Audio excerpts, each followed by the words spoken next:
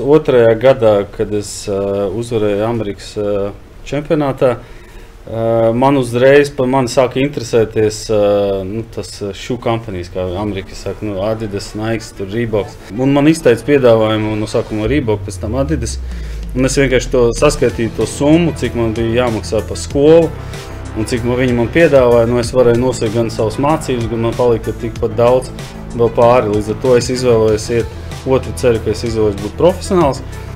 Man jāuzsver, ka pateicoties Kristofam Porziņģim, Bartānam un visiem šitiem, ja manā laikā, man liekas, man pat, nu, varbūt, ja divi cilvēki koledžā zināja, no kurienes es esmu, ja, tad eh, šogad, un jebkur, ja kāds brauks un teiks, sveiks, tas Jānis Bērziņš vai Liena Jansona no Latvijas, oh, jā, zinām.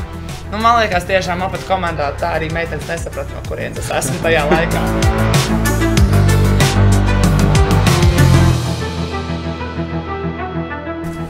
Esiet sveicināti, sporta draugi, sporta studijas astotais podkāsts, jeb raidieraksts iet gaisā. Marts eh, Amerikā tiek dēvēts par Marta trakumu. Protams, tas saistīts ar NCAA, jeb Amerikas augstskolu basketbola čempionātu, kur izšķirošās spēles iet vaļā. Šoreiz rekordgads, pieci latvieši piedalījās un vēl turpina daži arī piedalīties basketbola svarīgākajās spēlēs Amerikā. Tieši tāpēc mēs arī par NCAA visu lielo ASV studentu sportu runāsim. Un šoreiz man arī divi ciemiņi, kas ir NCAA pavadījuši ļoti augstā līmenī vairākus gadus. Lienu Jansonu basketbolistu un Dmitrijs Mirkevičs vieglietas 800 metru skrejējs. Sveiki! Kā jums atmiņas pirmās no Amerikas? Labvakar! Uh, pašlabākās!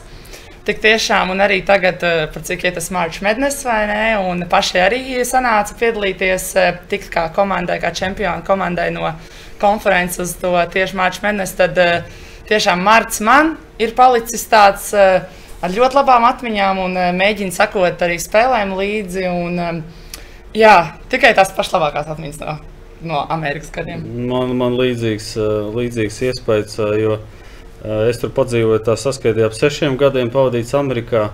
Koledžā četri gadi, bet startēju pa savu universitāti tikai divus.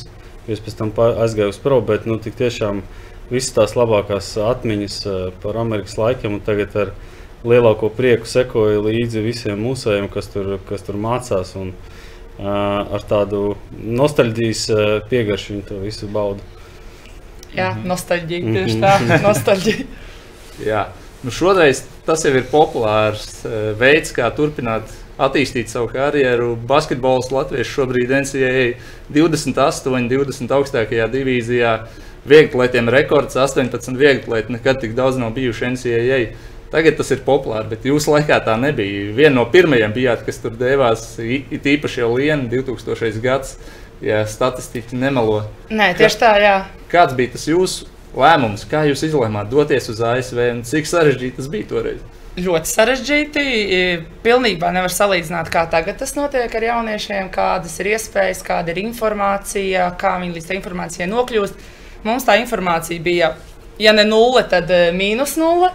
Vienīgā iespēja mums, basketbolistiem, eh, uz Ameriku bija nokļūt, eh, ja tu tik izlasē, aizbrauc kaut kur uzspēlēt Eiropas čempionātā, un tad atbrauc kāds amerikāņu skauts. Tevi noskata, ierauga tevi un piedāvā sākt tiem sazināties ar vēstulēm, ar e-pastiem, ar parastajām, uh, sūtīja katalogus uh, mailā un uh, jā, jā, pilni māja vēl tagad ir ar tiem piedāvājumu bukletiem, bukletus, uh, lapas rakstīja, jo nebija jau tur tā, kā tagad ir iespējas. Un tā bija toreiz tāda iespēja. Daudz mēs neko nezinājām. Ja kādu koledžu uzrakstīja, tad bija, jē, mani kāds ir ieraudzījis. Un, uh, Un tagad, ja skatos atpakaļ, ja es tad zinātu, kas tur tajā Amerikā notiek, ka tur ir divīzijas, ka tur ir eh, tās eh, līgas, eh, ka tur ir štati. Un ka katra koledža reitingā ir pilnīgi savādāk. Es domāju, man lēmums būtu pilnīgi savādāks, kurā koledžā es spēlētu.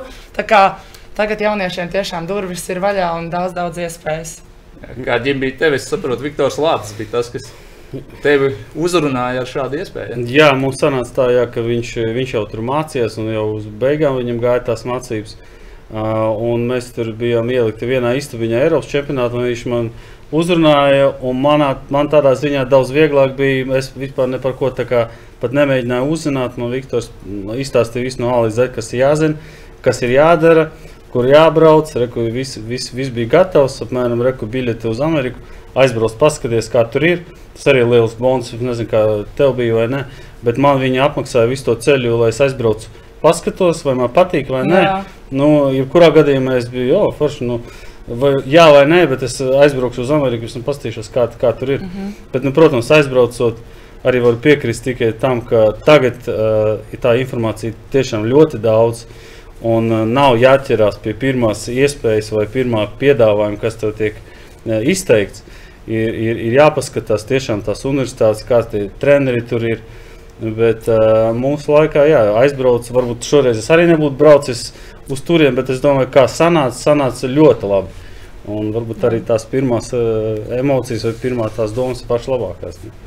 Ja vien bija tāda iespēja. Dmitrijs saka, viņam piedāvāja, apmaksāja visu, aizbrauc, apskaties, izvērtē klātienē. Kā tev bija? Tu vienkārši paļāvies uz pirmo iespēju, kas bija un aiziet. Uh, jā, es man tā kā varbūt Viktors Lācis palīdzēja. Man palīdzēja Gunta Baško.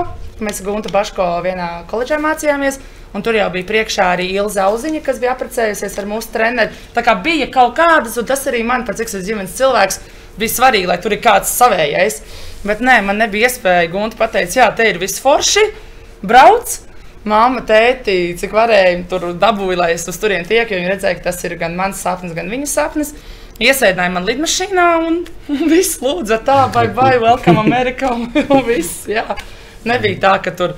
Viņi arī man vecāki, viņi nezināja. Viņi pilnīgi viņiem nebija nojausmas, uz kurieni tagad man meita tiek Bet uz kurien tu aizbrauc? uz uh, Siena College, Albany, New York. Alba, aha. Albany. Un tu?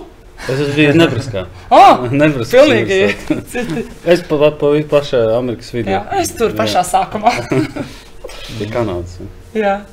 Jā, jūs abi, kad aizbraucāt uz turieni, pirmais kultūras šoks, kas jūs pārsteidza? Tās lielās iespējas, kas tur bija, jo parasti saka, ka nu, tur tiešām viss ir nodrošināts. Kā bija jums, kas bija tas pirmais lielais pārsteigums? Man droši vien bija tā pirmā pietura, bija Čikāgas lidostā, un kad es kāpu ārā no lidmašīnas, tie visi sagaidītāji tur ir ratiņiem, tie ļoti lieli melnādainie, nu, overweight cilvēki. Tas bija tāds šoks, ka viņi bija tik daudz, tie tiešām nu, ar lieku svaru. Un, un, un tas, ka nu, jā, viņi ir tik daudz, un mums Latvijā tie melnādainie nav satikti nekad praktiski. Un tad, tas bija tāds šoks, un pēc tam, protams, viss tas fast foods, ko viņi tur ēd. Un kā, kā tie sportisti, bet pilnīgi uz treniņu ejot, tur nezinu, var burgeru apēst un kaut ko tamlīdzīgu. un Tas arī bija tāds diezgan man tāds šokējošs. Tev liena, kas bija Jā, pirmais, man- ko brīnījies, wow, kas tas tāds? Nu, man bija šoks tāds, ka uh, vienalga pazīst vai nepazīstam cilvēku uz ielas vai koledžā nāca un pirmais bija, hey, how are you? Vai, hey, what's up? Un man bija tā, "A, kas man tagad jādara? Es tā kā viņu nepazīstu, bet viņiem tas tā. Pilnīgi normāli, ka tu ej, un tas tā, hei, tu pat vari paiet garām, ja, piemēram, hei, hei, un viss, ja. Un es, saku, es gāju skrēt pie Gunas, ko man darīt? Visi man nāk un saka, hei, ķipa, kā tev iet? Un es saku, kas man ir jāsaka? Saku, vienkārši pasaki, hei, hei, un, un ej tālāk. Un, jā, un otrs man arī bija par tiem, par to, par tiem ēdieniem, un uh, visi to zina, un es nemalošu, un es aizbraucu ast- 19 gados. Un tur tas fast food, un tur tā kafetērija, un tev viss ir pieejams. Jā, mums tā kā mēs bijām un scholarship, jā, tie arī noteikti. Jā. Mums viss bija atmaksāts, jā, mums tikai vajadzēja labas atzīmes skolā, un uh, tik komandām pierādīt sev, nu, spēlēt tā kā student athlete, jā. Tad uh, man arī bija šoks par to nežēlīgo to ēšanas, to, ka pēc katras spēles ir pica. Vai ne? Tur prīgāja mīlestības, arī tur rīktīgi tāda makrona kārtīgām mērcītēm. Un man jaunai meitenei aizbraucot, viss tas, viss tas, viss tas. tas man, man bija tas freshman 30. Zini, kas tas ir? Varbūt va, mūsu basketbolā bija freshman 30, tas ir tad, kad pieņemies svarā. Mm. Jā, ja Latvijā es dzīvoju, tad aizbraucu mazu slaidu meitenīti. Tad pēc Amerikas pirmā gada. Diemžēl es iekritu tajā kategorijā, kad viss bija viena bez vecākiem dzīvoja. Man bija tas, jā, tas freshman plus 30, vai kā viņi tur sauc. Jā. Bet gadījumā jūs tur nesvēra un nebija jāiet uh, body fat pa- composition. Jā, jā, visu mūs tur, bet nebija tik Ne, ļoti. jo mums bija Galvenais, katru nedēļu, un viņi pārbaudīja, ja viņi redz, ka tu sāc pieņemties varā, tad viņi tev nu, tā diezgan seko līdzi tam. Jā. Nu, varbūt es tādu pārāk tievu aizbraucu, tad es, nu, man bija kur vēl to. Bet, nu, es pati, bet nē, nē, viņiem bija galvenais, viss ir ok, rezultāti ir, mm. laukumā var paskriet, eh, komanda uzvar. Nu, tā. Protams, nevarēja to baigi redzēt, bet nu, es iekļāvos tajā kategorijā, mm. kad viss prom no vecākiem dzīvoja vienā. Viss ir, un tu jau jauna meitene, tagad, protams, es to pilnīgi savādāk jo, nu, uztvertu, gan to kultūru, gan to dzīvošanu, gan to ēdināšanu. Bija viss, ņem, ko gribi, ēd, ko gribi, nu, tad neskaties. Un, jā, tas man bija tāds kultūrālais šoks. Mm -hmm. Labi, beidzot to pirmo sadaļu. Katram no jums viens tāds trakākais atgadījums, koledžā, nezinu, balīt, kaut kāds spilgtākais brīdis, ko jūs parasti izstāstāt, kā tur gāja. Nu, Droši vien man īstenībā tagad pašlaik arī notiek Amerikā Ostino Texas Relays, tāds viena no lielākajām vieglietīgas sacensībām. Un tad pēc sacensībām, nu, parasti ir tāda tā kā balīta, ne balīta. Mēs arī izgājām ielās, un tad mēs gājām, un sāka šaušana. Nu, kad kā, nu, kāds ar, ar pistoli sāk šaut. Un tad viss sāk pēkšņi skriet prom. Man arī tur pat, ja apmēram guļamies zemē. Tas bija tas droši vien tāds. Uh, emocionālākais uh, piedzīvojums. Uh. Bet tā bija tā svinības. Nē, ne, tur bija. Nē, nu, tur nebija svinības. nē, tur kāds kādā šāva. Jo nu, Amerikā ļoti izplatīts ar to tam gadījumā. Jā, tur ļoti daudz. Ar to viņiem tā kā ir tāda nelaba slava. Nu, tas bija man tāds droši. Mm -hmm. Jā, Liene, tev varbūt tik traki negāja. Tik nu, bīstami. Nē, tik bīstami ne, bet uh, kas man nāk prātā uzreiz, kā es uh, pirmo reizi vecāki izdomāju braukt man ciemos pie manis uz Ameriku. Un es viņus pazaudēju lidostā, Ņujorkā. Ja kāds zina, Ņujorkas lidostā, tur ir JFK, tur ir New York, tur ir. Un arī ar kādu tu ielido ar Lufthansa vai Finnair uzreiz termināli atšķirās. Un, un mamma bija tajā uh, aģentūrā ceļojumā, viņai bija iedota tā aploksnīta, tur bija Lufthansa, bet viņi paši lidoja ar Finēru. Un viņi automātiski pateica, es lidoju ar Lufthansa. Un es aizbraucu uz Lufthansa, kas ir kaut kāds termināls 3, un viņi ielidāja ar Finēru, kas ir termināls 2. Un es viņus pazaudēju. Bet beigās pēc astoņām stundām mēs satikāmies koledžā manā istabiņā. Katrs pa savam ceļam. Es biju skraidījis visu Ņujorku, visas lidostas, visas terminālus.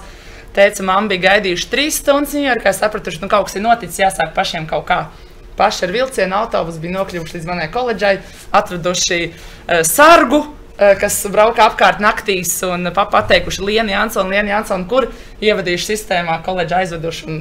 Viņam, es, es atbraucu, viņam sēdēja manā istabiņā. Mm -hmm. Jā, tas bija ļoti jauki. Pazaudēt vecākus Ņujorkas lidostā. Mm -hmm. Jā, kāds būtu jūsu padoms jauniešiem, kas tagad uz turieni dodas? Protams, tagad tā informācija un saziņa ir pilnīgi citā līmenī. Bet kā tur iedzīvoties, kā pierast pie tās Amerikas vidas, ko jūs varētu ieteikt, jums, kas jums pašiem palīdzēja tur iedzīvoties? Es, nu, man pieņems, un arī te, varbūt, arī bija kaut kāds cilvēks, tur, kas tur jau bija klāts. Nu, man, manā, skati, manā gadījumā tas bija gan Viktors, gan Inete. Tur bija uz vietas. To man bija sava teiksim, ģimene, kuriem es tur varēju arī latviešu parunāt. Bet arī nav arī jāstreso, ka tu brauc viens pats. Varbūt tas ir pat vēl labāk, ka tu par to latviešu valodu pavisam aizmirsti un konstatējies. Jo pirmās, man liekas, tie, tie pirmie mēneši ir tas kultūrālais šoks par to angļu valodu. Kad tev arī, nu, es aizbraucu, man vajadzēja vēl nolikt TOEFL, man nebija vēl TOEFL nolikts. Es tur pat dzīvoju ar amerikāņu ģimeni, pamācījies to valodu. Bet tā, man liekas, ka, ja tu pilnībā ar visu, ar visu uzreiz esi amerikāņu vidē, tad arī ātrāk tu to mūsu valodu uztver, jo vieglāk tev iest tur mācībās. Es, es teiktu, ka, nu, ko, ko var ieteikt, nu, nebaidīties. Nu, vi, visam jā, tiks cauri, nu, aizbrauks, nu, būs grūti. Protams, pietrūks īpaši varbūt meitenēm.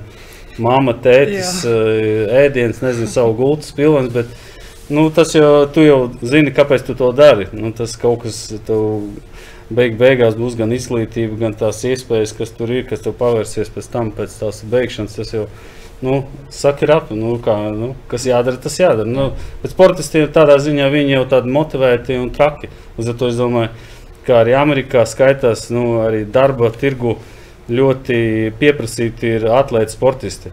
Jo visi, kas, ja mums varbūt tas priekšstats, ka šeit sportisti Latvijā, viņam daudz vieglāk mācībās iet, ir kaut kur pievarāts. Bet Amerikā nu, pilnīgi nav. Nu, tu vienalga, tu esi olimpiskais čempions vai NCAA čempions. Tev jāiet uz klasēm, jāliek viss kopā ar visiem. Tur nav tā kā atbrīvots no, no eksāmena mm. vēl kaut kas. Tā kā viņi, kad pieņem tevi darbā Amerikā, viņi ļoti forši, ka viņi redz, ka tu esi bijis student atlīte, tad tu, esi, tu esi mērķtiecīgs cilvēks, tu vari apvienot divus darbus, līdz ar to tu esi varbūt arī pēc tam pieprasīts. Jā, tieši tā ir ieteikums nebaidīties. Un, eh, jā, tieši ja mēs runājam par sportistiem, nu, katrs mēs zinām, kāpēc mēs tur braucam. Mēs mm. tur ne, ne, nebraucam laimi meklēt, mēs tur braucam uh, iegūt izglītību pa brīvu vai ne ar to sportu, ko mēs darām. Tas ir, nav tāds lēts prieks tomēr. Un jā, par tām mācībām arī par darba iespējām. Es pilnīgi piekrītu, jo mm, tas eh, kotējās daudz, daudz augstāk. Jo, piemēram, mūsu komandā bija tā, ka ja kādā no priekšmetiem tev bija F, kas ir fail, ja tu esi no izkritis, tu varēji nākt uz treniņiem, bet ja tajā nedēļā bija spēle, sorry, tu netiksi sastāvā.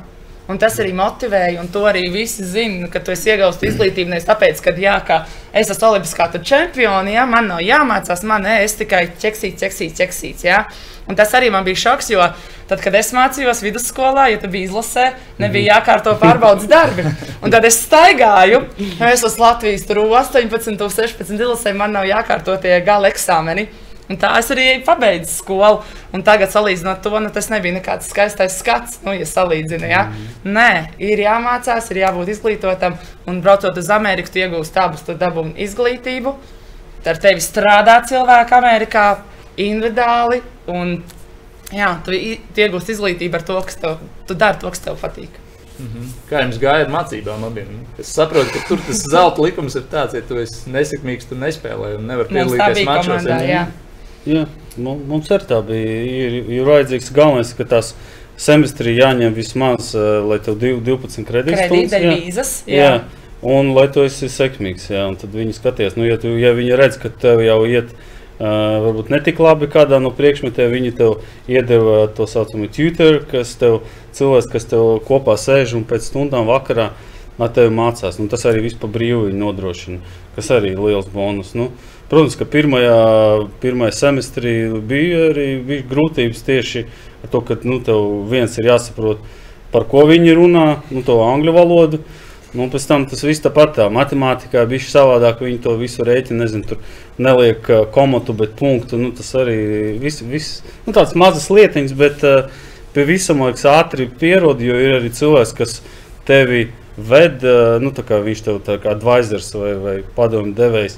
Kādas labākas tur stundas ņemt, bet kas tur arī forši, kas nav mums, ka tu pats izvēlējies un sastādi to savu mācības grafiku. Jā. Tu pielāgo viņu saviem treniņiem, kad tev vērtāk, nesi uh, rīta cilvēks, ņem vēlāk tās stundas, nemosties tur baigi agri.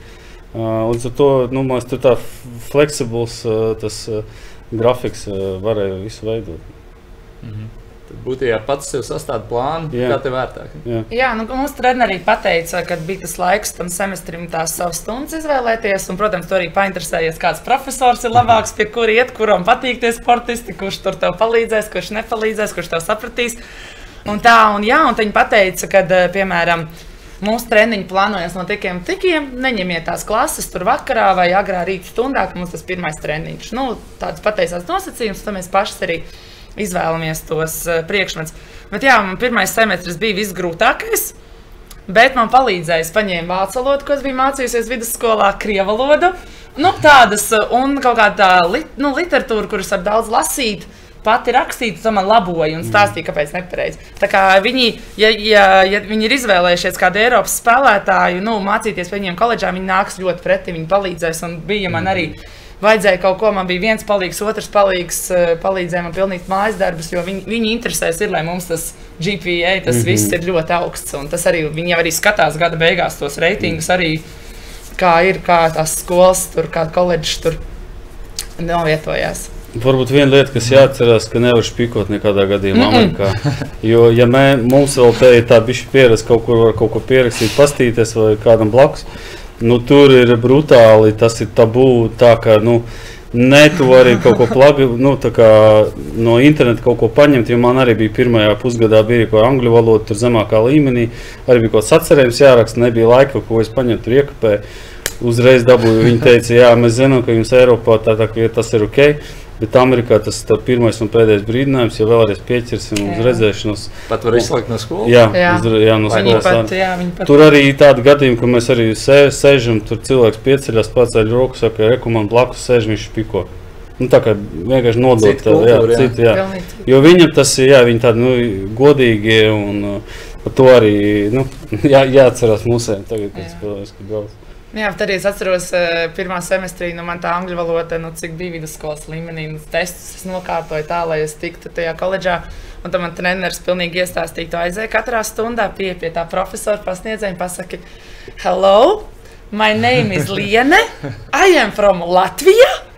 Un tad viņi sapratīs, nu, kad lai pirmās tās stundas nesauc tev pie tāfeles vai neliek tev tur rakstīt. Nu, tā. Jau iedzīvoties. Jā, un tas arī viņiem atver. Tu nebija tās tur kautrīgs. Un es saku, Amerikā, man liekas, vispār jāiet tāda. Mēs arī, man liekas, kas padzīvojuši Amerikā, uzreiz ir savādāk cilvēki. Mm. Tur viss, ja tu runāsi, ja tu smaidīsi, ja tu komunicēsi.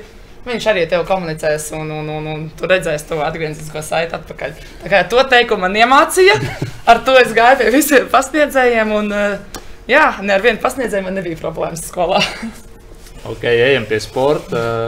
Jūsu pieredze abiem labi ir gājusi. Jau uzreiz var pateikt to. Liena, tu esi konferencē, tur vairākas reizes atzīta par labāko spēlētāju. Tikā tiekšā Marta Trakumā, Marčs Mednes. Tev par gadu debitantu atzīst. Nu, tu esi viena no komandas līderiem. Kā tur ir ar popularitāti? Tu pēc tam skolā, pēc labiem mačiem, pēc iekļūšanas tajā Marta Trakumā, normāli var pārvietoties. Kā ar to slavu tikt galā? Negāž tev riņķī vai, vai vienkāršāk? Uh, nu, pirmkārt, es mācījos uh, privātajā koledžā. Jā, ja cilvēki vēl nezina, koledža vai universitāte, tad uh, atšķirība ir tāda, ka koledža tā ir vairāk privātāka, zem 30. Es negribu tā kļūdīties. Uh, tas studentu skaits ir, uh, un universitātes ir kaut kas lielāks. Man bija koledža, sienas koledža. Un tur viss bija mazāk. Man, piemēram, klases bija ne vairāk kā 20, 30 cilvēku vienā klasē. Viss bija tāds ļoti nu, maziņš, un nebija tāda liela tur, tā ciemats, kur izbraukāt. Tā, bet nu, bija, nu, bija teritorija. tik un tā. Un, um, jā, nu, visi profesori, visi klasē, protams, atpazina un zināja, kas es esmu, no kurienes es esmu. Un, uh, Bet man liekas, tas nezinu, tā visa koledža bija tik šausmīgi ģimeniski orientēta, kad uh, viņi saprata savu vietu, savu laiku. Un, protams, vienmēr pēc labas spēles vai panākumiem katrs gribēja pienākt un pateikt kaut ko labu un jauku. Un es atņēmu šos uh, novēlējumus un apsveikumus. Bija patīkami. Man patīk. Nu, kuram nepatīk? Nu, kuram nepatīk, ja tev pienāk un pasaka, tur good job, un yeah, tur good luck vai kaut ko, un zināja, kad ir spēļu diena. Un tā, un ja spēļu dienās mums bija jānēsā speciāli treniņi, tā jau viss točs zināja, viss. Liena koncentrējās, jā, viss tā ir spēļu diena, labāk nenāk klāt. Un tiešām tā arī bija. Spēļu dienās, pēc tam kafetērijā vai kur mēs tur bijām. Cilvēki tā ietrēdīs, ne, viņām šodien svarīga diena, nenākat klāt. Tā kā, tā, tas tā kā viena ģimene, tā koledža vienalga, vai tur ir viegli atletika, basketbols, mm -hmm. futbols. Visi zina, visi viens pa otru atbalsta viens otru. Un, nu, nav tā, tā uzmācīgā. Varbūt domā, tur nāk, tur, oh, tur fočēties. Nē, neviens manī nefočējās koledžā. Jā. Es biju tā kā normāls cilvēks, tikai tādu labu vārdu, kāds arī pateica. Jā. Tu pieminēji to komandas kopību, bet kā bija ar konkurenci? Komandā? Jā, Oi, iekšēnē. oi. Cik sīva bija konkurence un kā, Liela. kā dāmu vidū tas vispār bija? Tas ir lieli, jo, um, piemēram, tu vari būt cik labs tu gribi būt. Bet basketbolā tur ir pieņemts, um, ka freshmans un sophomores viņi nespēlē. Ir pirmie divi gadi. Jā, tu pirmos gadus aptausties un tā. Nu, man kaut kā noviecās, ka es jau freshman gadā izcīnīju to pamatpieciniekā savu vietu. Un visu, un, uh, un, jā, un tad vajadzēja redzēt, kas ir kā tās 2, 3, 4 gads manīm treniņos vienkārši nu, gāja, nu, kaulā tiešām. Tās lielās, kas jau tur četrus gadus pēkšņi kaut kāda freshmans no Latvijas atbrauc un pamat pieciniekā. Oi. Bet man liekas, tāpēc arī mēs kā komanda un katra kļuvām stiprāka un labāka, jo bija tā konkurence. Jo katra negribēja tā seniora, kam ir pēdējais gads, nu, viņi neatdos savu vietu freshmanim. Tā kā tās bija tiešām tur, kur filmās skatās, ka tur kaut kāds kārters vai tur labam basketbolu. Nu, tiešām, ka tur tā treneris to meiteni noliek uz uh, līnijas, jo viņi notur to roku ilgāk. Nu, tā arī bija. Nu, tur nu, nebija joka lieta. Bet, uh, Es saku, ja tu dari to, kas tev patīk, tu arī vari visu pārdzīvot un tikai uz priekšu, un tev ir viens mērķis. konkurence gal galā palīdz attīstīt. Es simtprocentīgi, un Amerikā tas ir ļoti. Katrs tur cīnās par savu vietu, jo katra meitene vai kas, katrs uh, sportists ir nopelnījis to savu scholarship. Un tā ir tāda baigais, tāds liels zīmogs, tāda liela, liela atbildība. Man izvēlējās, ja man dod šo izglītību, man arī ir jā, nu, jānes šie augļi, jādod skolai, organizācijai, programmai atpakaļ. Mm -hmm. Jā, ģimene to arī uzvarēja NCAA čempionātā vienu gadu. Kā tev pēc tam bija? Tev noteikti tā skola bija lielāka, saprotu, nekā Lienai. Uz balīti, aizgāja meitenes nelicis virsū. Kā, kāda bija tā situācija? Es uz balīti negāju. Tā negāju. Es biju ļoti godīgs uh, un pieklājīgs sportists. Es, es tā ievēroju režīmu, bet uh, nu jā, es otrajā gadā, kad es uh, uzvarēju Amerikas čempionātā, man uzreiz par mani sāka interesēties nu, tas šūnu kompānijas, kā Amerikā saka, nu, Adidas, Nike, Reeboks. Jo nu, tas līmenis NCA ir ļoti augsts, līdz ar to tas arī tirgus viņam liels. Un viņi, principā, no tos uzvarētājus uzreiz sāk pieskatīt un sāk viņam varbūt piedāvāt jau kaut kāds kontrakts. Nu, kas jāzina, ka tu nevari būt profesionāls sportists un nevari mācīties Amerikas koledžās. Ja arī pirms varbūt uzsākšanas koledžas tu jau esi kaut kur pelnījis ar sportu, Nu, attiecīgi, pieņasim, ja es biju, būtu bijis kaut kādā dimanta līgā, uzvarējis un bija skaidri rakstīts, ka es uzvarēju tur 2000, es vairāk nevarētu uzsākt mācības Amerikā, jo tur tikai var mācīties amatieri. Nu, līdz ar to tā, tā man izteica piedāvājumu no sākuma Rībok, pēc tam Adidas. Un es vienkārši to saskaitīju, to summu, cik man bija jāmaksā par skolu. Un cik man, viņi man piedāvāja, nu, es varēju nosaukt gan savas mācības, gan man palika tikpat daudz vēl pāri. Līdz ar to es izvēlējos iet Otru ceru, ka es izvēlos būt profesionāls, bet es esmu divus gadus vēl pabeidzu Amerikā tās mācības. Uh, es domāju, ka tur, nu, varbūt basketbols spēlētāji mums nenebraska nebija pārāk labi, bet uh, Amerikā ļoti populārs ir amerikāņu futbols. Nu, tie džeki, kas spēlē amerikāņu futbolu, un mums te nebraskā tas futbols vienkārši tā kā viņu uh, lūdzās, tā kā, nezinu, futbola dievam. Uh, 90 tūkstoši skatītāju stadions. Uh, Es 40, cik tur 6 gadus, uh, visos, visas spēles ir pilnīgi sold out. Uh, līdz ar to tie, tie ir ļoti populāri. Mēs kā vieglieti, nu, kā jau arī starptautiskā arēnā, nu, zin, visi zina, Usain Boltu, varbūt kurš, kurš ir kārslacējs, tur zina, kā pasaules čempions, varbūt ne visi zina. Tāpēc tā arī tur bija, ka, nu, savā, savā tur vieglietiks, protams, saimītē man, man pazina, bet tā kā pa ielu iet un visi tur tā kā liena, varbūt sveic, nu, man tā galīgi nebija. Ne. Mm -hmm. Pastāstiet to vienreiz par tām niansēm. E, kurpju pie, ražotāji tev piedāvā līgumu. Mm -hmm.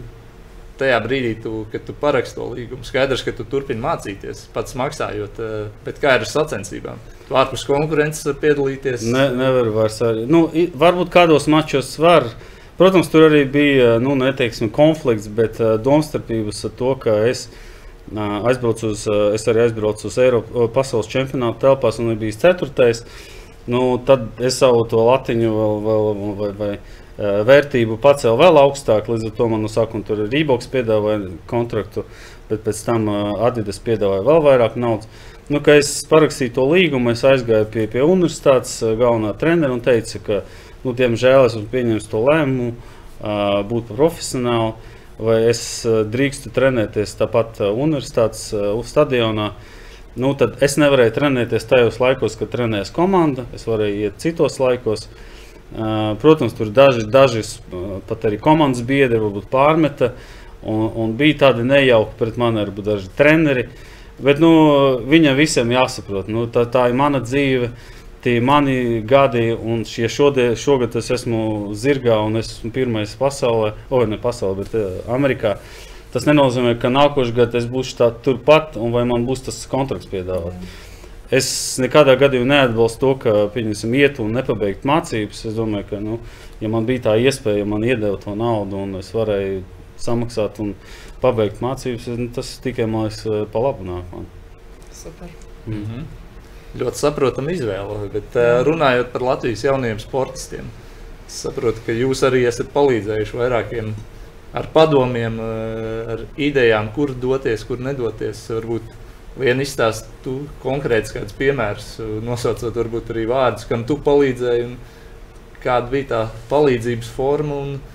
Cik ļoti novērtēji tie jaunie sportisti šo palīdzību un izmanto tavu zināšanu? Jā, jaunieši novērtē, un uh, viņi vairāk sāk jau apzināties, kur to palīdzību var meklēt. Jā, ja, kā es teicu, mūsu laikā mums pat nebija pat, pat, nu, jēgas meklēt, jo mēs nezinājām. Tas bija vienīgais, ko tu zini, kas tur jau ir tajā galā.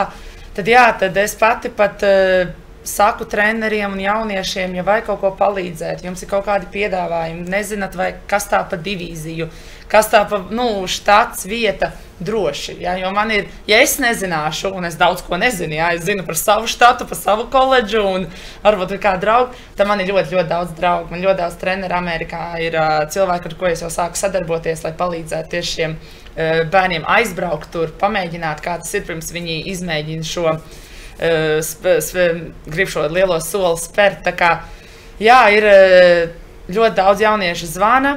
Mēs satiekamies, tad, kad varēja satikties, jā, satikāmies mierīgi pie kafijas, tējas, to visu izrunājām. Viņi man parāda savus plānus, savus, kas viņus ir uzrunājuši, saka, kā labāk, arī liek tā kā komandu apstīties, tur divīziju, visu. Un, jā, es ļoti, ļoti mēģinu palīdzēt. Tādu piemēru Daudzi, daudzi ir nākuši, un es esmu tiešām centusies palīdzēt, bet tajā pašā laikā, kā mēs arī sarunas sākumā runājām, kam viņiem jābūt gataviem. Ja? Tas, ka tev tur paņēma un tā, nu, tur ir tomēr. Ja tu aizbrauc, tev prasīs no tevis daudz, būs daudz jāstrādā, ar ko saskārsies, lai nav tas kultūrālais šoks. Jā, mums bija kultūrālais šoks, bet paldies Dievam, te ir cilvēkam tas izgājuši cauri, un mēs varam viņiem pabrīdināt. Jā pa mācībām, jā, nedomā, ka tagad tu aizbrauks un tev nav jāmācās. Tas ir primārais mācības, mācības, mācības un vēl ko. Vēl tie, kas mācās 11. un 12. klasē, viņus mudina mācīties. Jo, kā jau minēju, man vidusskolā, kā izlases spēlētājai, nebija jākārto viens eksāmenis. Tad es arī mācījos tik, lai man pārceltu nākamajā klasē. Un tajā brīdī, kad man pēc 12. klases bija jāsūta liecība Amerikai, Nu, tad bija sarkana, faksā, šitā te galva nodūrus, tā kā uz maniem skatītos, nokautrēsies. Nē, nebija tik slikta liecība, jā, bet es apzinājos, ka es varēju daudz, daudz labāk. Un tad es tā nokaunējos un, protams, aizsūtīju to liecību, kam vajag. Viss beidzās labi, pieņēma un viss viņu apmierināja. Tas viņiem sāka mācīties, mācīties, jo viņiem arī ir svarīgais, svarīgais redzēt, kāda jums liecība. Tas ir viens, ko es iesaku mācīties un, un, jā, un būt gatavam pastāstīja, kas tur viņus var sagaidīt prom no mājām, kādas ir prasības, kādi ir režīmi. Un tā, tā kā konkrēti piemēri es tagad tā uz citiem neteikšu, ir ļoti. Nē, es nezinu. nē, vienkārši ir tik daudzi, tik daudzi nākuši un prasījuši. Un, uh, Un vēl prasa, un vēl šogad es gribu palīdzēt, un palīdzu, un uh, esmu atvērta. Kā, jā, es zinu, cik daudz nozīmē, jo mūsu laikā tā nebija. Tāpēc es mēģinu, cik vien varu palīdzēt šiem jauniešiem, saprast, uz kurien viņi dodas. Jā, tu pieminēji to, ka universitāte arī no tevis prasa, ja viņi dod to iespēju. Varam skatītājiem, klausītājiem izstāstīt. Es saprotu, pirmā divīzija, ja tu tur esi, tev ir stipendija, tev ir apmaksātas mācības, nodrošināta dzīvošana. Viss, saprotu, visu to viņi tev sniedz. Viss, un... viss ir nodrošināts, jā, pilnīgi viss. Tu tikai mācies, ierodies laikā uz treniņiem. Jā, un viss, ko tu vēlies. Uh, Nu, nav, piemēram, man, es zinu, ka tagad ir visādas iespējas, bet man tāda dzīvā nauda nekad nebija. Koledžā to viņi pat nevarēja, jo tas ir uzreiz profesionālisms un tā. Man tāda dzīvās naudas nebija. Pēc tam, 4. gadā, es uzzināju, ka ir kaut kāds financial aids, kur tu vari pieteikties, bet to es tikai vēlāk uzzināju. Bet, nu, tur arī būtu tāda kā ikmēneša tāda naudiņa.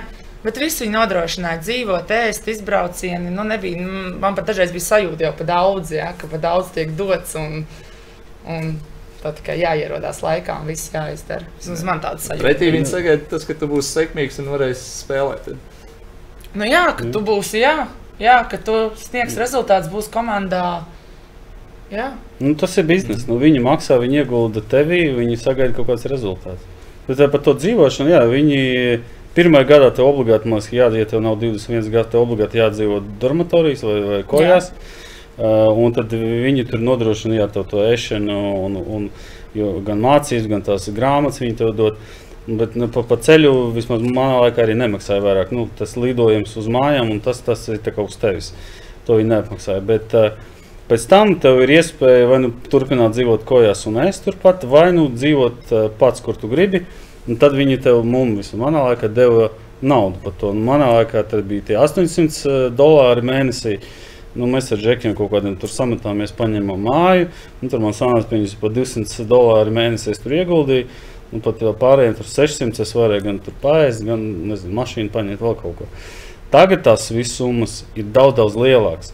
Nu, ir eh, daži piemēri, kas šobrīd mums eh, daži mācās Amerikā. Protams, tas atkarīgs no štata. Nu, arī cik dzīves līmeņi, arī tur Nebraskā ir viens eh, īres summas, un Ņujorkā citas. Miami vēl citas, bet nu, tur aiziet pat līdz 3000, ka viņi saņem uz rokas čeku, ko viņi tad var izvēlēties, ko viņi, nu, vai viņi dzīvot kājās, vai dzīvot pašam, gatavot pašam vai nē. Bet, Tas pirmais noteikti gads ir jādzīvo kājās, jāpazīst nu, īpaši to ēdienu, ka tev nav jā, jādomā, kur braukt, kā braukt. Jo tāpat pirmā gada noteikti tā mašīna arī tur nebūs. Pēc tam, ja tu iedzīvojies, tad jau sāku kādu mašīnu paņēmu vēl kaut ko. Mhm. Man nebija tādas ekstras. Man neviens nepiedāvāja dzīvot ārpus. Varbūt tāpēc, ka mēs bijām mazāki un tādi kā orientēti. Jā, nē, mums bija visi gadi, mums pat nebija iespēja dzīvot ārpus. Mm. Uh, koledžas. Jā, pirmais gads bija tajā dormos, un tā bija tāds tā kā townhouse, tādas mm. mājiņas. Tad tur varēja dzīvot. Jā. Bet, jā, bet ir tāda, jā, ka tu vari ēst tur trīs reizes dienā, tad tur tās mazās kafejnīcas, subvēja ir tā, ka nu, tu esi tiešām paēdis no rīta līdz vakaram visu diennakti. Tu zini, ka tev būs. Arī ir mazie tādi kā kioskiņi, kur tu vari iet, un tev tāda kā savu tā studenta kartiņu, un ar to tu arī. Nu, mm maksā. Bet mēs ar Guntu to naudu, kas mums bija kafe, nu, tajās kioskiņos paredzēta, mēs iztērējām šajās zvanu kartēs. Jo kādreiz jau nebija WhatsApp, nebija, nu nekas nebija. Kā mēs zvanījām vecākiem, bija no parastā telefona. Un tas jau bija dārgi. Un tajā kioskiņos pārdeva tās calling cards. Un tur bija 20 dolāri. Un mēs viņus nopirkām. Mēs zinājām, cik tur minūtes ir. Un mēs vienreiz nedēļā zvanījām mammai un tētim. Bet tas bija sen, nesatraucieties tā vairs.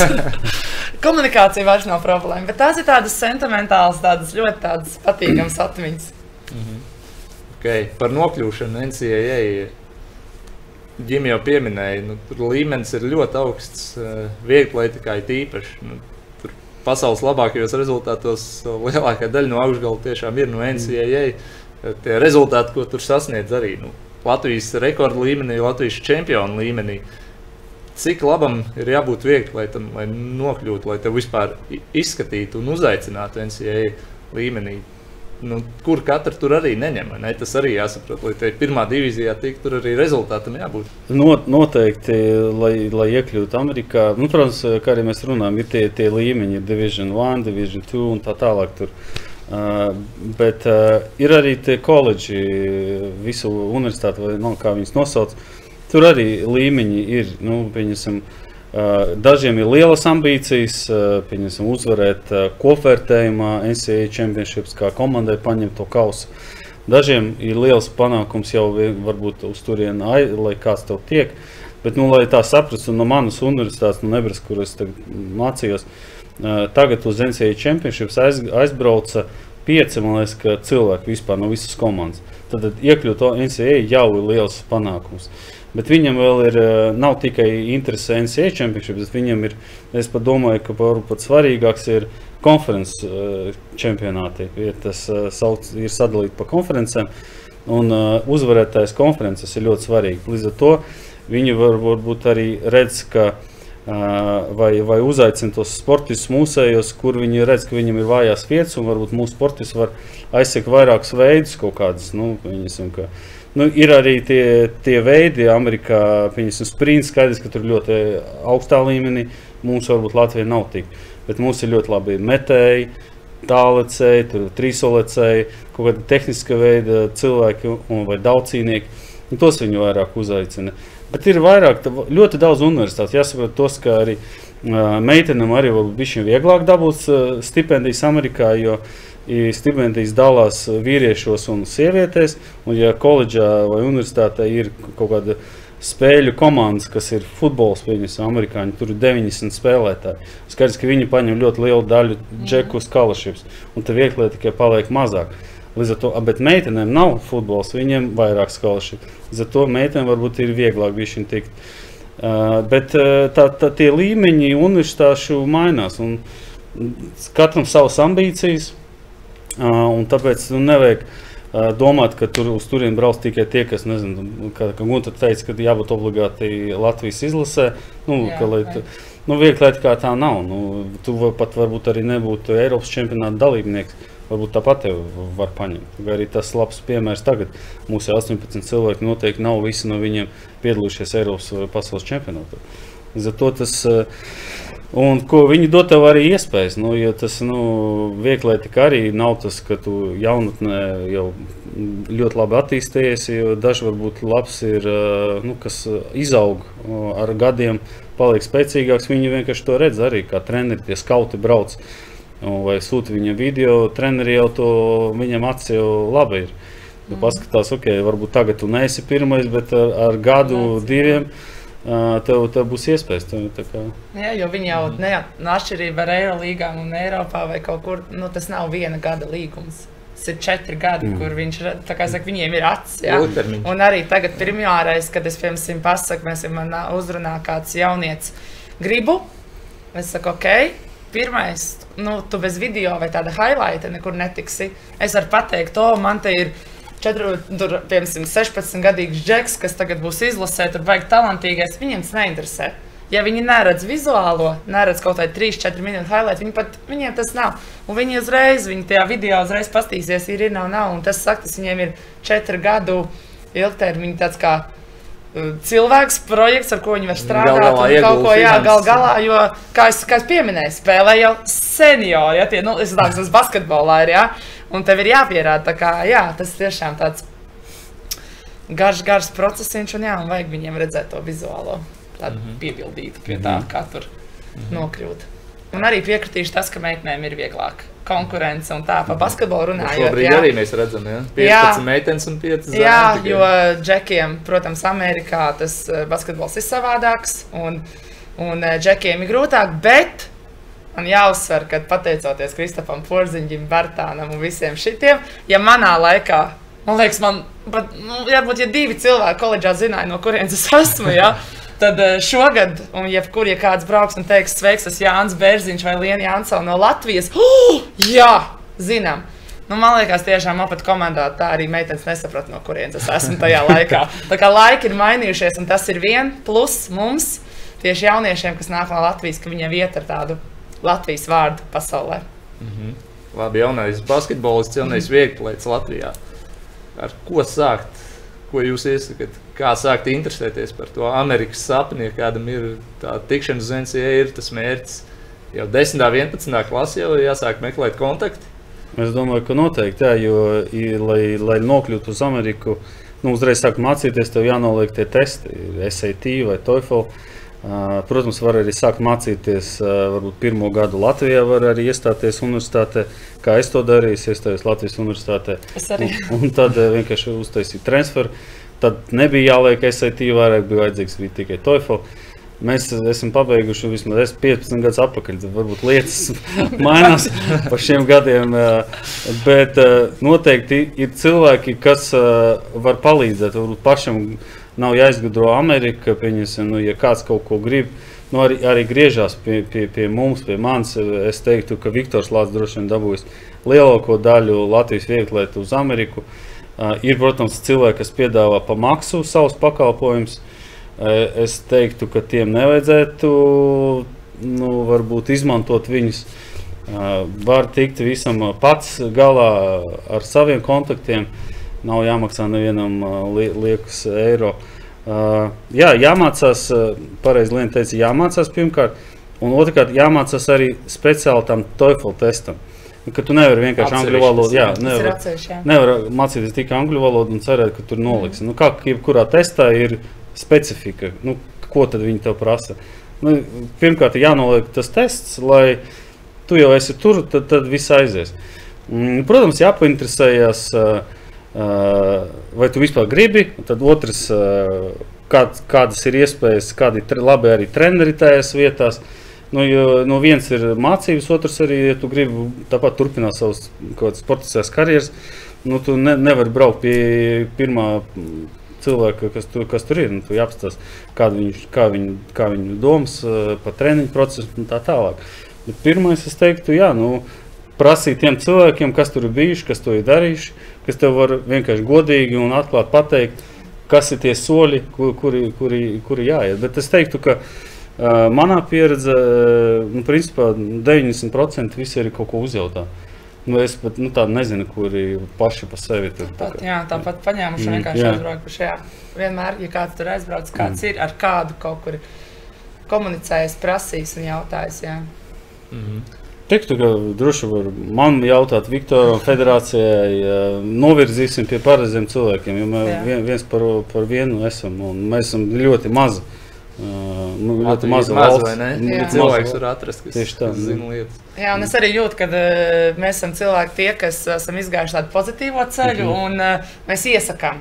Ja man, ja man treneris vai kāds prasa lienu, nu, ko es saku, jā, lūdzu. Nu, es tam pilnīgi izkliedzu, ka to, ko es iegūstu tos 4, 4,5 gadus, uh, ko es uh, nodzīvoju, nomācījos, nu, to, nu, to man viens neatņems. Un es visiem to pilnīgi lieku, liekot roku sirds, saku, ka es esmu cilvēks, kāds tagad esmu tikai.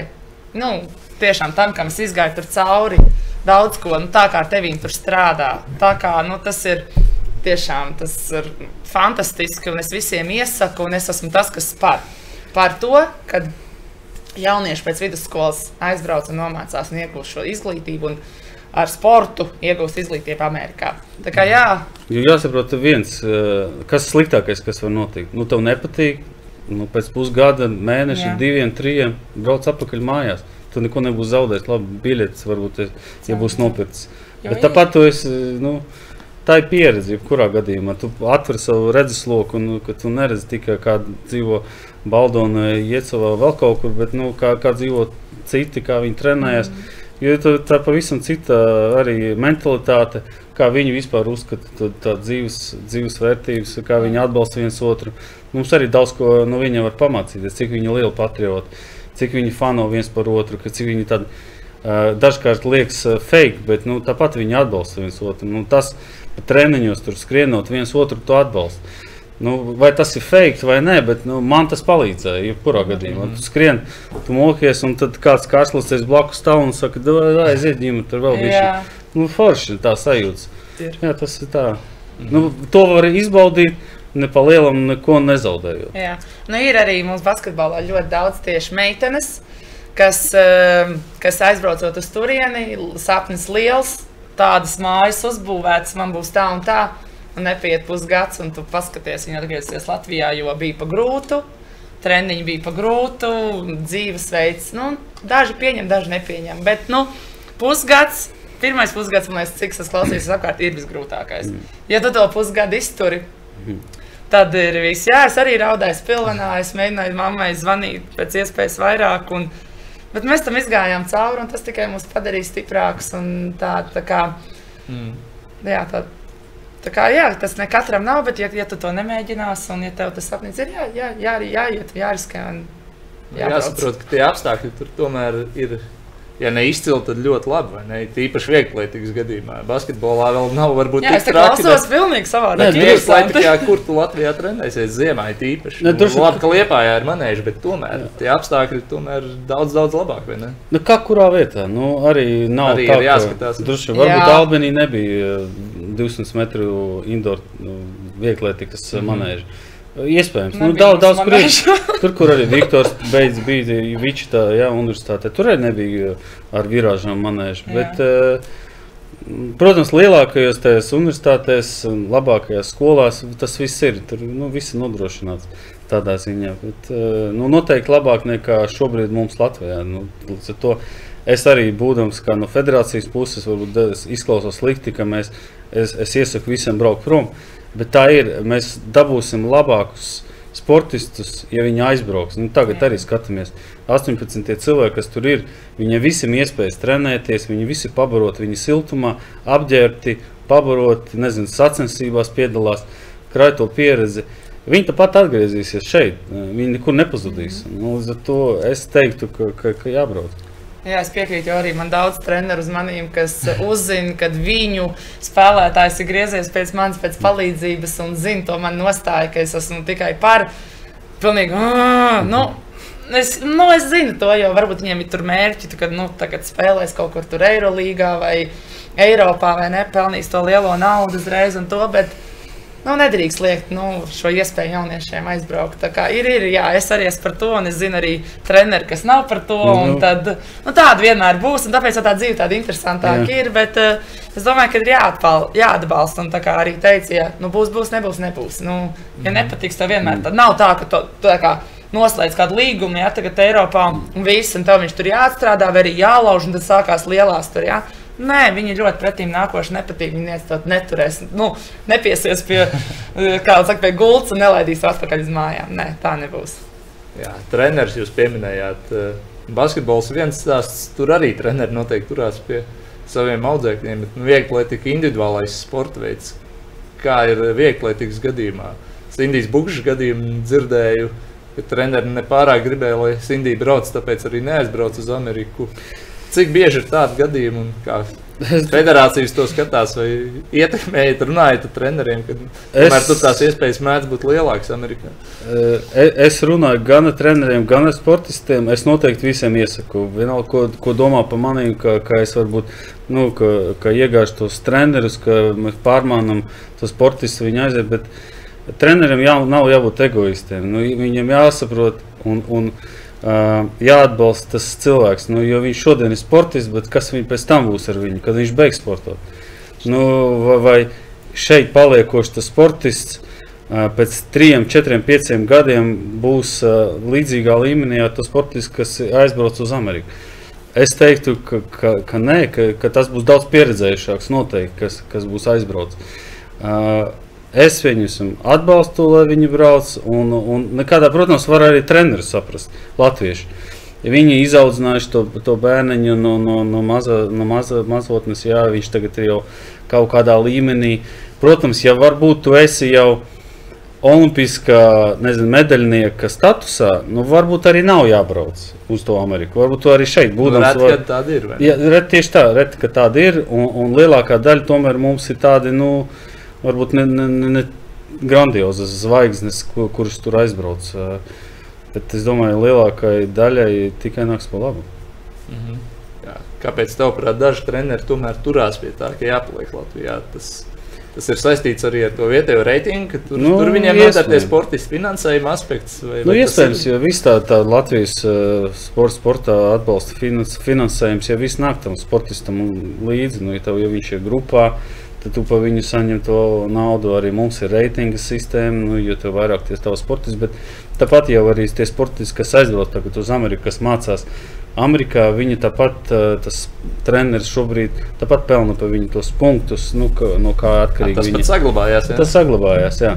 Nē, nu, protams, ka treneriem nu, tu, tu skaidri, tas tav, tavs bērniņš aizbrauc prom. Tāpat kā mammai žēl, un viņa raud, nu, tāpat arī treneris. Viņu arī tā kā dēls vai meita. Jā. Tad arī viņam žēl, ka viņš brauc prom. Viņam liekas, ka varbūt tie treneri Amerikā neko nesaprot tādā veidā, un ka viņi tur viņu rūpīgāk atšķirēs. Un kāds viņš tur būs, un viņš tagad pazaudēs to laiku. Bet nu, tāpēc ir jāskatās, eh, kas tur ir otrā galā pa treneri. Kas ir ļoti labi, ka labās skolās tie treneri arī gatavi kooperēties ar vietējo treneri, ar mūsējo. Arī bijuši piedāvājumi, mēs, skatī, mēs sūtīsim jums programmu. Pirmajā laikā jūs varat korrigēt, kaut ko sūtīsim video, rādīsim, kā viņš tur met vai ko dara. Tas, tas viss ir runājums, visu, visu var panākt. Vienkārši, lai, lai tā iniciatīva arī liekas, ka, nu, atbalstoša no, no trenera, ka viņš brauc, lai tas audzēknis nebaidās no, no tā, ka treneris saka, nē, tas nozīmē, ka tas ir slikti. Nu, paklaus tagad, jebkuru doktoru paklausīs vienu viedokli, aiziet pie otra, nu, tad varbūt nav jāgriež uzreiz. Jā, vien, cik traki ir basketbolā. Arī ir tā turēšanās pie tā audzēkņa. Nē, es negribu laist prom, vai, vai nav tik izteikti. Nav tik izteikta, jo, ko es tikko arī man tā salikās, tā kā viss pa plauktiņiem, jo aizbraucot tās meitenes neko jau īpaši nezaudē, jo visi izlasa jauniešu jau notiek vasarā. Tā kā es domāju, ka treneri tikai ieguvēji, ja viņas nomācās, iegūst izglītību, viņas vasarā var palīdzēt jauniešu izlasēs. Tā kā tas ir tikai ieguvums, un jā, varbūt viņas biedē tas, kad kā ar viņām strādās, ne tā strādās, kaut ko no viņām tur tā izvilinās, vai kaut ko tur pārmainīs tās spēlētājas. Tāds varbūt domas ir tiem treneriem. Bet nē, basketbolā man liekas, tas ir tā bišķi vieglāk, jo viņi saprot, ka tomēr vasarā viņas būs mājās un mēģinās, kuras varēs eh, kandidēt izlasēs un palīdzēt izlasēm arī startēt un cik varu. Ne, mēģinu jau arī sezonas laikā no Amerikas dabūt, bet tas ir grūtāk. Tomēr, ja, tur jau jābūt tādai tiešām tik labai basketbolistai, lai viņi dabūtu no tās koledžas. Nu, Atpakaļ sevišķi Covid laikā tas, diemžēl, nebija iespējams ar daudzām, mm -hmm. kas nevarēja pievietot, pievienoties Latvijas ilusē. Tā kā nē, nu, ir treniņi, protams, katram būs savs viedoklis un sava nostāja, bet uh, man liekas, ka, uh, ja tu tur neesi bijis un īsti nezini, un tu neesi ne, nevar paredzēt nākotni, uh, tad man liekas, nu, ir jāļauj bērnam izvēlēties, un nevajag tā pateikt, nē. Un -hmm. Tas tāds, nu, mans tāds viedoklis. Jā, jūs pieminējāt abus trenerus. Ļoti svarīgs faktors, vai ne? Francis Lācis, Latvijas, kas Marčs Mednes piedalās, arī pat treneru intervijās stāstījis, ka viņam ir paveicies ar to, ka ir īstais treneris. Rūta Lasmana arī trešo vietu tikko izcīnīja Ziemas čempionātā NCAA. Arī uzsver treneri, ka tas, tas viņai ir uz viņas viļņa. Kā jūs uz to skatāties, uz treneru jautājumu? Cik viegli ir pirms tās došanās uz Ameriku saprast, ka tas ir īstais treneris? Ir iespējas ar viņiem tikties, sazvanīties. Kā, kāda notiek tā komunikācija, lai saprastu, tiešām, jā, tas ir mans treneris, es pie viņa startēšu, es pie viņa spēlēšu, un viņš man uzticēsies. Es domāju, 90% arī zvanu un ar tevi runā, ka tevi aicina uz Ameriku, ir tas treneris. Jo viņš ir nu, reti, kad ir uh, recruiting koordinators, uh, kas nav treneris. Parasti viņš varbūt atrod, bet lielākoties tas ir treneris, kas pieskata sportistu. Tas ir viņa pienākums meklēt labākos. Uh, prospektus priekš, priekš universitātes. Līdz ar to, ka tu jau ar viņu komunicē, tu jau vari tev jau pirmās saskarsme viņa veidojās, un tu jau saproti, kāds viņš par cilvēku. Tad tur viņi var sākt runāt par jau kādu treniņu procesu.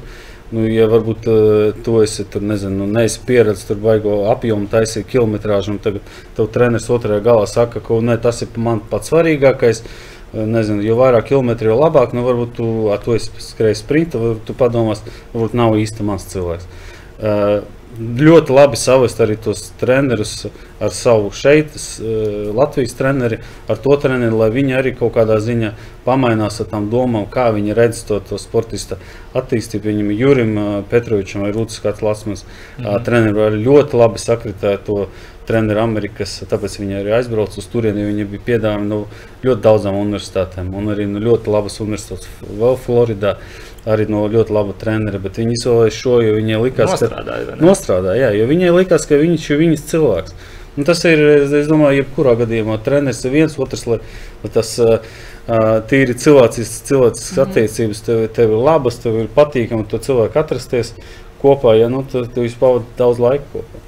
Jā, man tieši tas pats, pirms es vispār tur devos, man uh, bija ļoti milzīga komunikācija gan ar head coachu, galveno treneru, gan asistentu coachu. Man bija Un, uh, tiešām viņi, nu, es sajūtos, ka tur es esmu gaidīta.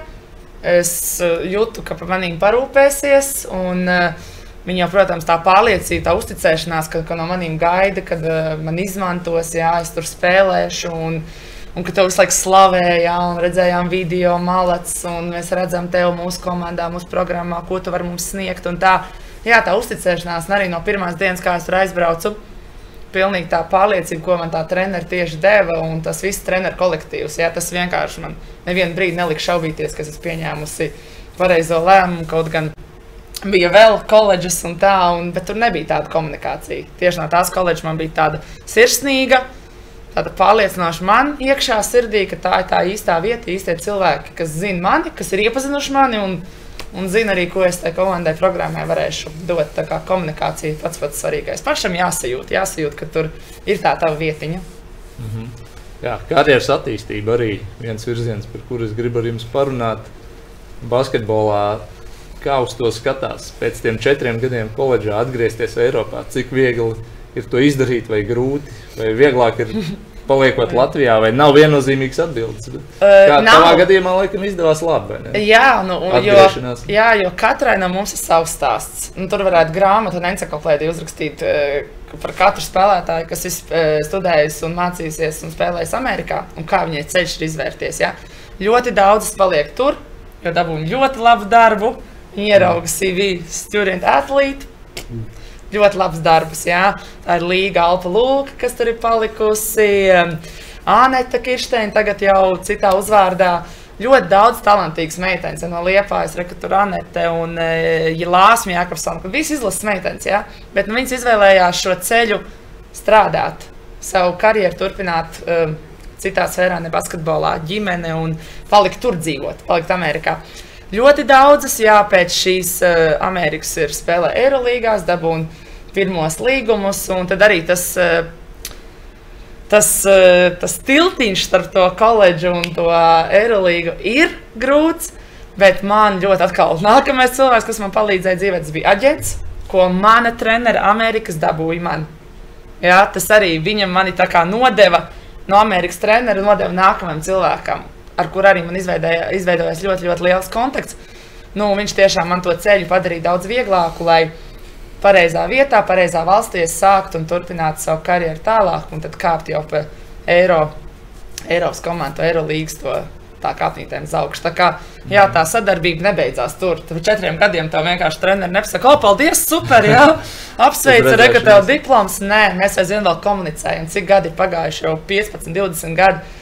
Facebook, kaut kādas dzimšanas dienas, kaut kas notiek, ir komunikācija, sūta mums visus lamanāju, visu, nu, visu, nu, ir Tas ir tāds mūžīgi, tāda vērtība, ko neviens neatņems. Un tā ir kom vienmēr pārliecināsies, vai tev ir labi.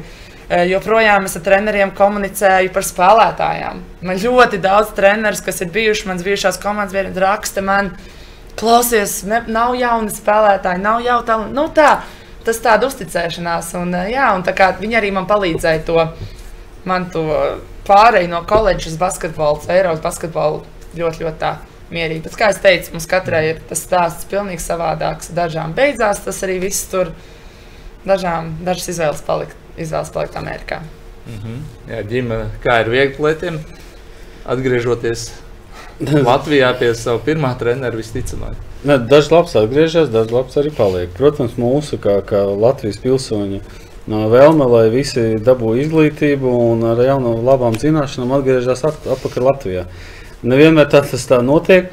Uh, bet uh, ir labi piemēri, man liekas, ka daži, daži atgriežas un sāk strādāt arī šeit. Uh, par to sportisko pusi, protams, ka, mm, par ko arī varbūt baidās daudzi treneri, ka, ka Amerikā viņas izdzen visas. Ja? Nu, tur ir viegli, ka viņas ir divas sezonas, vasara un, un ziema, ja? un tad viņi ir ļoti intensīvi, ļoti daudz sacensības. Līdz ar to tie sportisti daudz, nu, viņam tas NCA ir mājā, viņi atgriežas mājās, viņi jau ir noguruši, kad mums te ir Eiropas čempionāti. Un, ja tā četrus gadus notiek, nu, tad viņi apmēram varbūt izpumpēt. Ir gadījies arī tā, nu, nenoliekšu, ka tā, ka tā var būt. Bet tur, tur ir tā, tā lieta, ka, ja tu esi labs sportists, tu vari komunicēt arī tur. Kā arī bija ar mani, es teicu, es labi startēšu svarīgākajās sacensībās, konferences, regionāls, nacionāls. Viss, nu, pārējais tur varbūt nelieciet mani visās tur stafetēs, kur, kur nevajag. Un tā arī viņi piekrita, es labi startēju, un viss, nu, es arī atgriezos un labi turpināju šeit tā, skriet. Bet uh, katram cilvēkam ir dots savs laiks sporta karjerā. Nu, nu, ja, ja viņi aizbrauc, tad viņam ir nezinu, 18, 19 gadi. Tagad četrus gadus viņi tur nu, būs nomācījuši, viņi ir 23 nu, citas vērtības. Nu, varbūt viņš vairāk arī negrib sportot. Nu, arī atgriežoties Latvijā, mūsu skarbajā realitātē, vieglatlētikā, jā, ka varbūt tas, ja tu neesi Eiropas vai pasaules čempionātā, tad tev tas atbalsts no valsts varbūt nu, nekāds dišs nav, nav basketbols, nav, nav komandas, nav kontrakts.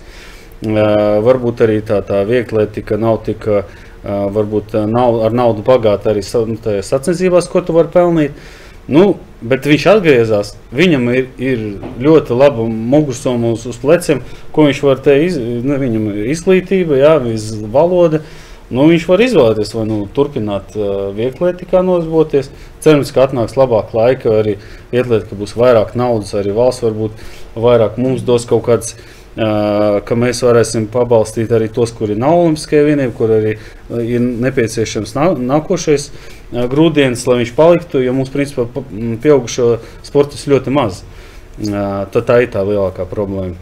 Bet es domāju, viņi kā speciālisti atgriežoties mājās ir tikai ieguvēji. Nu, tad viņš var izvēlēties, eju sportot, ok, neiet, negribu vairāk, nu, nesportoju. Bet Bet varbūt viņš vēl paliks sportā kā funkcionārs vai vēl kaut kas. Jā, jo man arī atgriežoties, pabeidzot koledžu, kaut kur es jau nezināju, kā man izvērtīsies karjera 22 gados. Jā.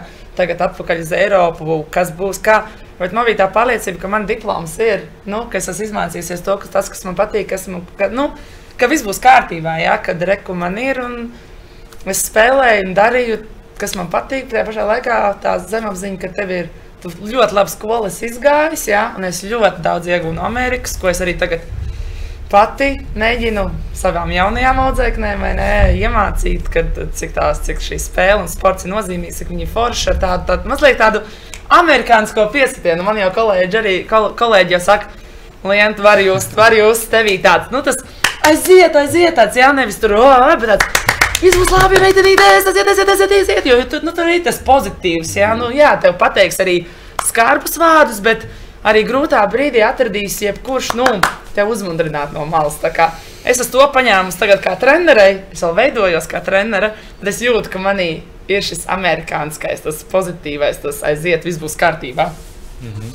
Jā, nu jāpaturprātā arī, ka bez sporta braukt studēt Amerikā, nu, tās ir liels izmaksas. Red, kurš to var atļauties? Tas, tas uh. gandrīz vai neiespējami lielai daļai Latvijas jauno skolēnu, kas pabeidz vidusskolu, bez sporta turien doties, dabūt stipendiju pilno, tas ir gandrīz neiespējami. Ne? Nu, es to ļoti labi sajūtu uz savu, uz savu maciņu, jo man pēdējos divus gadus bija pašam jāizvelk 35,000 dolāri Jā. un jānoliek vienkārši par tām mācībām. Jo tur ir šausmīgi nu, dārgi, dārgi vis, gan, gan arī tās grāmatas, viss šausmīgo naudu maksā. Mācīt. Tagad es domāju, kā kurā universitātē vai koledžā vēl būtu vēl vairāk. Bet nu, mums vidē, jā, tagad bija ap 3,5 tūkstoši. Nu, man arī mammai tēti bija liels šoks. Es aizbraucu, ieliku man lidmašīnā, aizsūtīšu man lidmašīnu. Un viņiem atnāk mails, tur kaut kāds pusgads, gads pagājis, atnāk mails, vēstures, e, vēstulīte, siena koledžiņa ver vaļā, un tur tā kā, nu, čeks, nu, rēķins, rēķins jā, 30 tūkstoši. Mama tētā, tā, ko mums lieta nav pastāstījusi, nu kā jokā, humorā, jā. Ja? Bet tajā brīdī viņi arī redzot sev acu priekšā, ko, jā, ko viņi nu, nekad nespētu. Nu, tas ir nezinu, kādā pasaulē. Jā, dot savai meitai tādu izglītību un būt uh, tur. Jā, vienkārši tajā brīdī tā.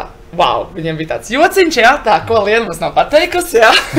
Vai mums tas ir jāmaksā un tiešām liek aptvērt, kā, kā, kāds darbs tajā galā tiek ieguldīts un darīts, lai es tur būtu, mācītos un iegūtu izglītību. Mm -hmm. Okay, paldies, ka veltījāt laiku sporta studijas nu, jau astotajam podkāstam. Atvadoties, varbūt tāda esence no katra no jums. Eh, vēstījums jaunajiem Latvijas skolēniem, 10. un 11. klasē, ko apdomāt, vai ja gatavojas sliekties tajā NCA virzienā. Liene. um, man liekas, mēs tik daudz ko. Uh, izrunājām tādus, man liekas, atslēgas vārdus uh, visas sarunas laikā, katrs pieminējām. Bet jā, galvenais ir nebaidīties. Jā? Ja kāds tev saka, ko tu tur, kāda Amerika, ko, nu, ja tu jūti, ka tas ir priekš tevis, nu, tad es domāju, ka ir jāpamēģina. Jā? Un, uh, kā jau teicu, jāizmanto visas šīs iespējas, kas ir apkārt. Jā? Ir tik daudz informācijas, internetā var daudz ko atrast. Ja kādas šaubas, ir ļoti daudz cilvēku apkārt, kam var pajautāt. Jā? Kas ir gājuši cauri to, arī var atrast internetā, vai ne, kurš ir uh, mācījies Amerikā un tā. Un, Jā, un milzīgs prieks par tiem, kas ir jau tagad Amerikā, vēl turam īkšķus, vēl turpina spēlēt Mārķa Mednesā. Tas ir super. Tas ir tik superīgi, ka tik maza valsts kā Latvija var pārstāvēt ar tik daudz jauniešiem. Un te jau parādās, ka ir mums tie pārliecinošie jaunieši, kas ir sasnieguši šo mērķi jau un būs vēl, un nāks vēl jauni. Un, Tā kā nebaidīties, tiešām, ja tu jūti, ka tas ir tev, jā, galvenais jautāt, nebaidīties no piedzīvojuma un nebaidīties jautāt un meklēt šo informāciju. Mm -hmm. Jā, droši vien nav, nav ko gluži ko piebilst. Uh, uh, es domāju, vajag attīstīt to savu talantu, atcerēties to, ka tas laiks, laiks varbūt nav tik, tik, tik liels dots, lai saprastu, vai tu gribi. Jo Amerikā arī ir četri gadi tev dot. Un, ja tu sācis mācīties jau Latvijas universitātē, tavs laiciņš jau aiziet. Tev vienalga, tu, tu šeit iestājies, laiciņš jau sāk iet viens gads Latvijas universitātē, sanāk trīs, trīs, trīs gadi paliek Amerikā.